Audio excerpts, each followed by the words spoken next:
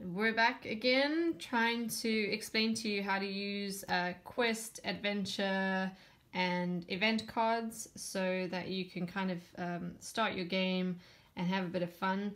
These cards are kind of used for every kind of game. The only one that's missing from this is the challenge card. So that, that's not included in this one here, but this is because we're currently playing um, a different kind of game. So we just thought we'd show you how this works.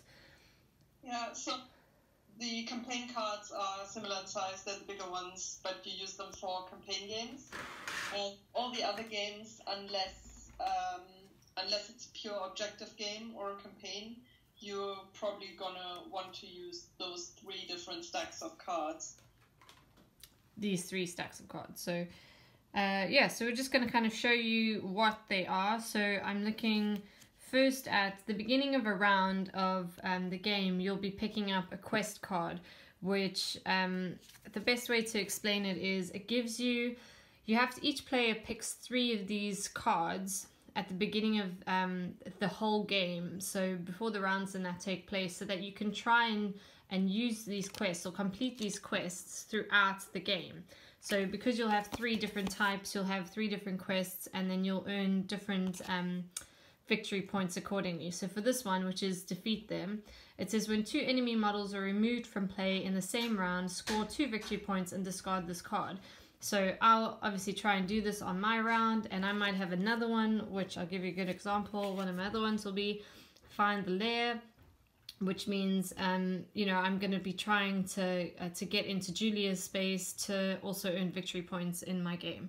So um, so yeah, and you have that in however many rounds that you have, and then once you discard one of them, you can replace it with another card and um, to continue your quest throughout the game. And obviously, the more that you do, the more victory points that you'll get. But equally, if you don't use them, it's not the end of the world. This is just to help you earn extra victory points. So yeah, those... and um, so you draw three, but and then you look through all of them, and you you have the whole game, so all of your rounds to complete any of them. You don't have to complete any, but um, once you've completed one, you exchange it for another one, and you can do that up to six times per game. And also, if for the first time when you draw them, uh, you can exchange one of them for another one. But you can only exchange up to six times in a whole game. No, that is no. Oh, I mean, uh, that is only when you complete it. Then you exchange them again up oh, okay. to six times. I mean, the first time you draw them, you can, if you don't like one of them, you can exchange it for another one from the pile. But that's it. Then you're not allowed to exchange anymore. Yeah, and you can't go back to the one that you discarded. So yeah. yeah. Okay, so the next one is uh, they called adventure cards, right? Adventure. Yeah. The second one. yeah. yeah. So these ones you choose at the beginning of each round. So you have um, the rules being, in this case, whoever is the person who um, is not the what, what's the word for it? The thing is, like, it's it's pretty arbitrary who draws them. It doesn't really matter because you will always draw the top three. So it doesn't matter who draws them really. But the person who drew the only thing that yeah. matters is how they get used. So the person who doesn't have the initiative, so the second player to activate a model is the one who gets to pick the first card. Yep. And that card only counts for that model to be used. And, and only in that round. Yeah. So so every round that you play, so in this case we're currently playing a four round game in every round we have to try and use these cards. We say have to, I mean the idea is to try and use them and they seem quite helpful to help you do stuff and move further across the board in quicker time. But it might be that um, that they aren't relevant and they don't count in that particular round. So to give you an example, this one says you get um, one defense against an unforgivable curse or spell. So let's say um, I don't know, like uh, I've got um, the Death Eaters on my side, and I'm going to cast a spell on Julia that would potentially kill her. She um, would have to roll the die to try and defend herself, but she'd have an automatic additional plus one to try and help save her. So, um, so she, you know, if she was the second person anyway, she could choose that card um, exactly. to use um, it. And then um, it just goes round. Uh, it goes activation by activation. So then, uh, let's So then the next one would be the my player, whoever my player is, and then Julia would get that third one again. So she would get the, to choose that for the Yeah. next one. So basically, it's an extra sort of balancing out um, of the power because the person the person who has the initiative can sort of act first and uh, cast a, s- cast a spell first or whatever, but then the person with the who doesn't have the initiative actually gets two of those cards instead of one because it goes, you know, I Yeah. get one, you get one, I get one. Yeah, so, So it kind of helps it balance it out, which which yeah seems quite helpful. And also, um, sometimes those cards will not be applicable for the game you're playing at the moment. So you'll have to see, for example, we are not allowed to put any more models, like summon any more models for this game onto the board. So if one of that's because of the rules of the game.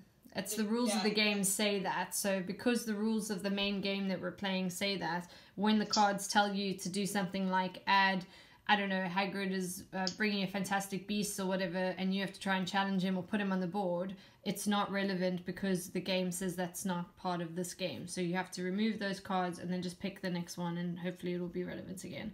But as a team, look at them together at the beginning of the round, right? Sorry? No, saying at the beginning of each game, both players Yes. will look at them and decide whether or not that's applicable. Exactly, yeah. And if it, it, it's really just about the rules. So um, if something isn't applicable, then you then you take it out. But if it's just a card that you don't feel like using or that's not realistic to do within that time, you still keep it because technically you could have still used it. Yep. Okay, so those are the adventure ones, and then the final one that we have that's applicable, that seems to be applicable in all games, is the event card. An event card can only be used once you decide who the player is that you're going to use first. So the person who has the initiative has to nominate their person. So it's around as well. Yeah. So this is per round. So at the beginning of each round, but the person has to first nominate who their player is. So maybe Julie will say, okay, well, I'm going to move Hermione first. And the reason you do that is because Hermione has to then action this or try and start this off, and it technically is her card. Um, so yeah, so in this case, we're doing a dark presence. So for this card, it's it's giving you an additional objective on the game that allows you to kind of spice things up in certain ways. So for this one, it's saying paste an objective marker. So in mine, I'm just going to use a different, I mean, I've got additional markers, but it's not really, it could really be anything that you're putting on the board. It's just so that you can distinguish it from your other objection, uh, objective markers. You could use the Patronus ones or something that you're not using very often. So in this case, I was going to use um, someone from the swarm. And then this card is telling us to put this somewhere on the board, or for Julia, her character Hermione, to put it somewhere on the board where um, there's at least three spaces where no one is occupying the space. But every time someone gets into that space, if they want to have an advanced um, action, they need to pay from their power pool. From these point, uh, their power pool, they have to pay um, two of their points, which means that some, you know, they they're let's say they're trying to cast a spell while they're there, it could be that they end up paying, you know, five of their power points to even cast a spell. So that's, um, you know, kind of just a bit that's um, hindering people. But it, but then once that's placed, everyone is affected by it. So even if Julia's characters go near it, she will also be affected by it, um, and myself. So um, it says in this case, the marker remains in play um, until the end of the game, even though this event card is normally only for the round. So that's why it specifies it. Please continuing, uh, yeah, con- continue drawing event cards as normal, but that dark presence will basically stay in the game um, for the rest of the game. So yeah. Yeah. And- So uh, these are really just cool things that, that give the game a bit of extra spice and sort of make you think about other approaches of playing your team, which is quite cool. And it makes it quite a bit more unpredictable than it would be otherwise. Yeah, so I'd say the only thing to, to really keep an eye on is probably these quest cards because you could almost forget that you have them because they're sitting next to all of your other cards, you know, on the board and you're not paying attention all the time. So I'd say when you're busy um, replenishing everyone in um, in the magic phase at the beginning before the initiate phase, um, when you're going through that, you I would say go through your cards again, make sure that you're trying to to actually perform the quest, just to give yourself some extra points because that is the point of it. Um, so yeah, so we hope that you like this and that you find it helpful, and uh, we'll carry on sharing some stuff soon. Bye. If you liked our videos uh, with this explanation, take a look at some of our how-to videos and things to consider when playing your Harry Potter Miniatures Adventure game by Knights Models.